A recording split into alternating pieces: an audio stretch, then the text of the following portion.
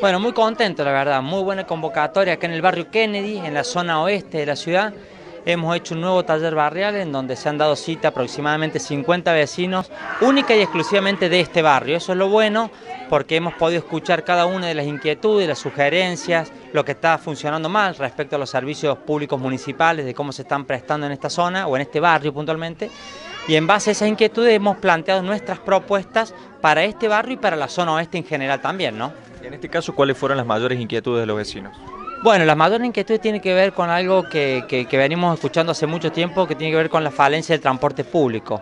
Por aquí en este barrio, eh, bueno, eh, circula la línea N, y bueno, y, el vecino se queja mucho del tema de la frecuencia, la falta de refugios, eh, los recorridos. Entonces, bueno, hemos también le hemos contado nuestra propuesta respecto del transporte público y tránsito en general, pero más que todo transporte público acá, ¿no?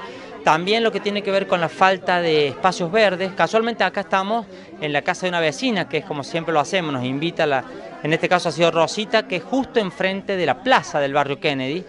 Hemos organizado ya varias actividades en la plaza y la verdad que tenemos mucho por hacer en este, en este espacio verde. Tenemos que refuncionalizarlo, tenemos que, hacerlo un espacio que sea realmente integrador, un espacio inclusivo, eh, con juegos, con plazas, con juegos saludables también, o equipos saludables, con bancos para que el vecino pueda eh, sentarse a tomar un mate, ver correr a sus nietos, realmente refundar los espacios verdes puntualmente uno aquí enfrente, en donde también tenemos una cancha de fútbol, que hay una propuesta concreta para los vecinos que ya le hemos dado a conocer acá en el ámbito privado de, los vecinos del barrio Kennedy.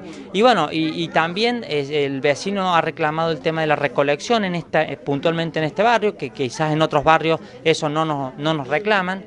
Eh, y esto es importante porque como lo venimos haciendo hace tanto tiempo, es como que actualizamos el orden de prioridades por barrios. Entonces en el plan eh, en el plan de gobierno que, que, ya estamos elaborando hace bastante, hace mucho tiempo, lo vamos actualizando según el orden de prioridad del vecino en base a estos encuentros que estamos realizando todos los viernes ya hace un año y medio, ¿no? Este, este plan va a ser presentado unos días antes de las elecciones, ¿no? Sí, hemos quedado de acuerdo que lo vamos a presentar eh, unos días antes del 10 de noviembre, que es la elección para la categoría de intendente municipal de acá de la ciudad.